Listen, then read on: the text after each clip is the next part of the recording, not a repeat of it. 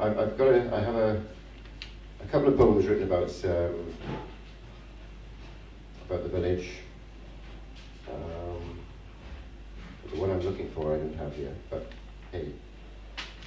This is, um, this is called travelogue. I, I do an awful lot of my writing when I'm out walking or when I'm on a train or when I'm on a journey. It's the only time I seem to have time to myself. Um, and this one was written on a, on a cycle journey. It was a, um, little trip from the town where I was working to the, to the village where I'm living.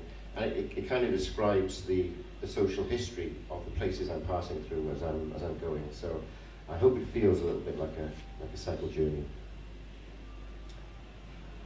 Keys rattle in the door. Two explosive revolutions burst into motion.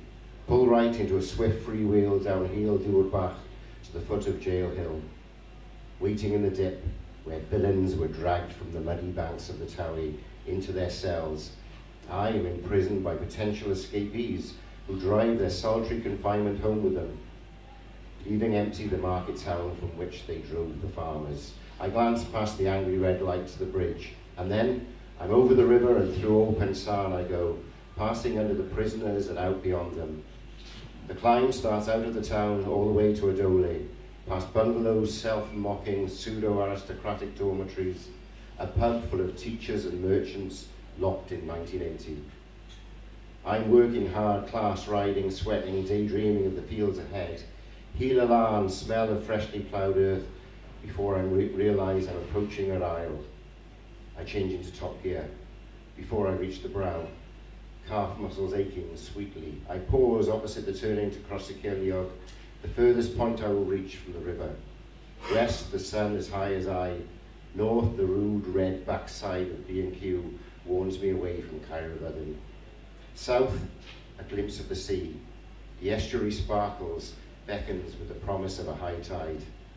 I follow, cruising now on watery legs, past lonely outposts of nonconformity, castles inhabited by our hen, till I spy the cottage in the fork, leading me away along a different tongue, away from Llanelli to the ferry.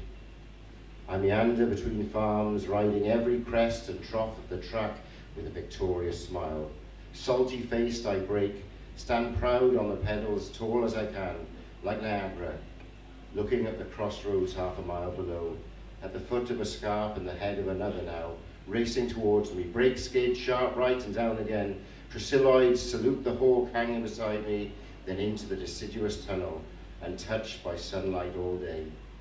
A thousand prehistoric trephillod crash off my chest, head, sunglasses whipped by the chill breeze.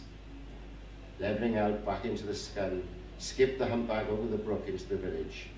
Ferryside, Lana Ferry, and going down the hill very quickly with his microphone stand.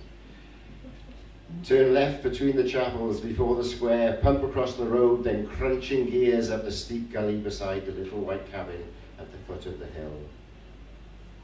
Hang the bike on a tierbach next to the oil tank. Drag a chair through the front door into the sun. Strip off my vest and sprawl, letting the sun turn the rivulets of sweat into dusty white tracks of salt washed away by cold lager spilt between bottle and thirsty impatient mouth.